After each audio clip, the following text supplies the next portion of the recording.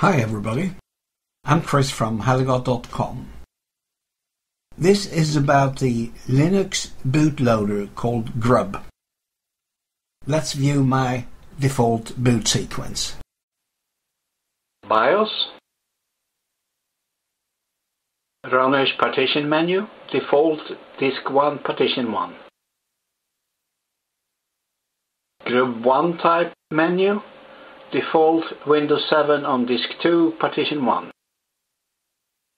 Booting Windows 7. This is my Linux user boot menu, type grub1, on disk 1, partition 1. I use this kind of menu to keep track of which versions I have installed and where.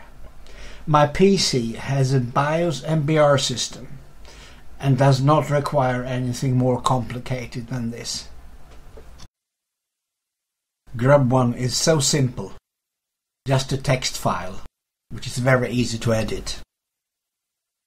Default number 6, that's the Windows 7, timeout 6 seconds, and I've added a bit of color with the GFX menu message. BIOS I have about five seconds to press spacebar to pause Ranish Partition Manager. I can now change the default bootloader to partition 3. Press enter. Another 5 seconds to pause. And this is a Grub2 boot menu, Linux Kubuntu. And also here I can change to, for instance, Linux Fedora on partition 2 disk 1. Enter. Booting Linux Fedora. This is the Linux Grub2 boot menu. Linux Kubuntu.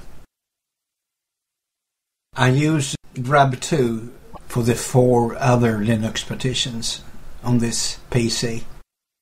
Linux Fedora, Linux Kubuntu, Linux Mint and Linux Ubuntu. And I use it because it's pretty. I don't really need this sophistication for my BIOS MBR desktop PC. Grub2 is really intended for newer PCs that use the UEFI-GPT system. Let's view another grub2 boot sequence. BIOS. We'll pause here. The Ranish boot manager resides in the master boot record in the first disk on the first partition.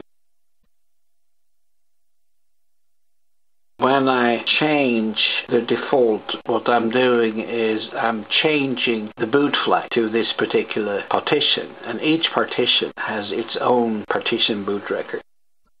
Let's now choose partition 2. Fedora's Grub2 boot menu, and why don't we switch down to